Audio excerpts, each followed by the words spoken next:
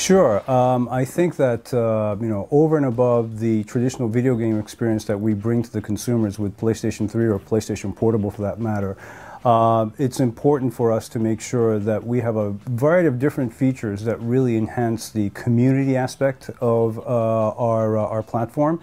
And one of the best ways for us to, to do that is to base um, you know, some of our games, like for example LittleBigPlanet or ModNation Racers, to give you a couple of examples, where the consumers can actually generate their own content and share that with others for a community experience. And you know, we have a, a tradition of doing that with titles like SingStar, for example, as well.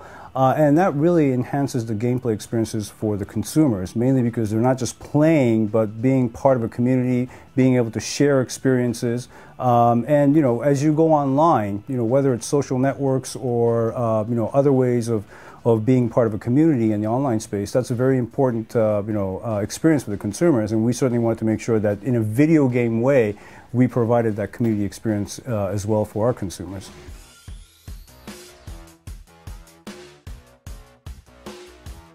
Um, you know, the community feature um, is a very important aspect of uh, the gaming experience for PlayStation 3. Uh, also in terms of user-generated content or being able to just share your experiences on Facebook and what have you.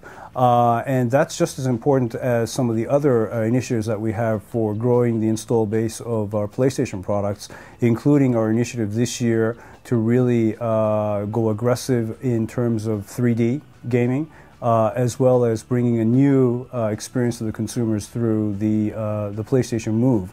Um, and in some instances, actually combining PlayStation Move with 3D. Um, and obviously, you know, the community aspect can be a part of that experience as well. So, you know, all these kinds of different, uh, you know, elements that we bring to the table really to, again, enhance the video game experience is very important to our overall strategy.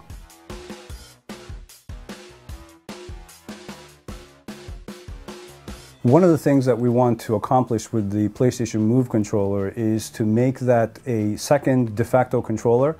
So we've always had the controller that you hold in your hand as the first de facto controller for the PlayStation, uh, dating back to the original PlayStation actually.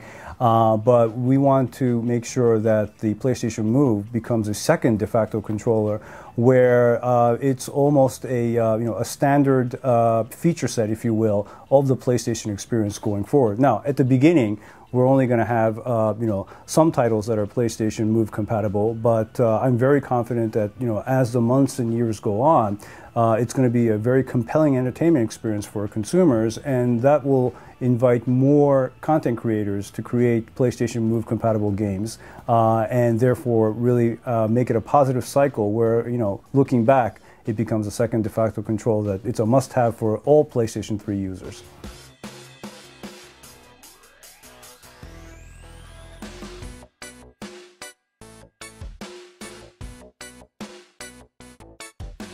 Uh, it's a very good question. I think that one of the important things there is to make sure that we have, between our first party studios and working with our third party publishing partners, to have as many 3D and also Move compatible uh, games as much as possible. Talking specifically about Move, uh, again, if it's a very compelling entertainment experience, then I think the users will want to go out, even if they had purchased a PlayStation uh, when it first came out, the additional controller and the PlayStation Eye. And by the way, a lot of consumers already have the PlayStation Eye anyway. So for $39.99, you can pick up a uh, you know the PlayStation Move controller standalone, uh, which is I think a very affordable price to begin with.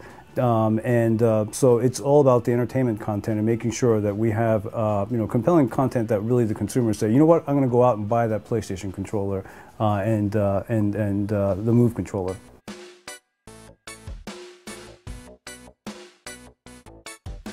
I think that's really up to the, the content creators, uh, but you know a lot of games lend themselves to the, the Move controller.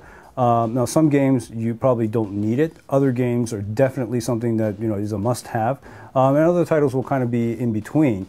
Um, but I think that as time goes on, all the games that can be enhanced with the Move compatibility, uh, I think will have that feature set uh, included in uh, in the games.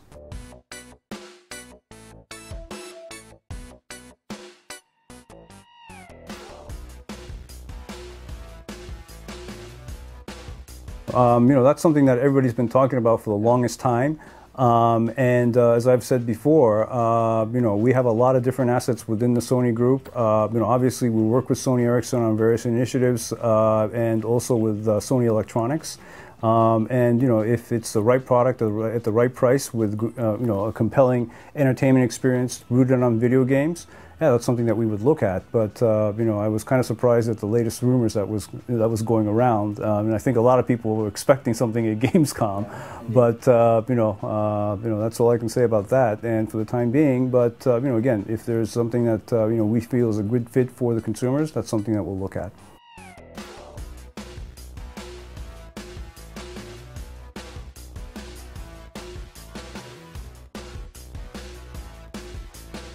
I, I think that uh, you know whether it's uh, you know the Apple products like iPod or iPad um, or the iPhone or the various uh, Android-based portable devices, Windows 7 devices, etc., that really have a you know what we call the social or the casual gaming aspect.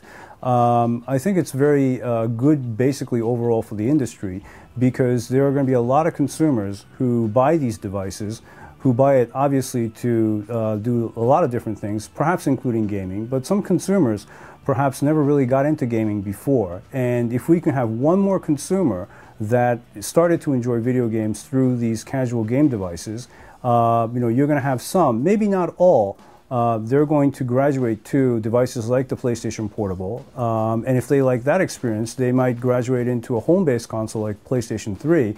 Um, and if you look at in its totality from a video game industry perspective, we've gained one additional consumer that perhaps may not have come into this space had it not been for the casual gaming platforms. So I think overall, um, to the extent that it grows the pie of video game uh, users, if you will, I think that's a good thing overall for the industry.